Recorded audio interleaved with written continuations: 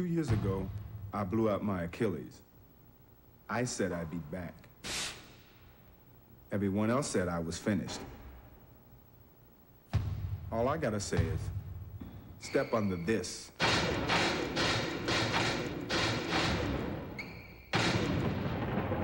And we'll see who's finished.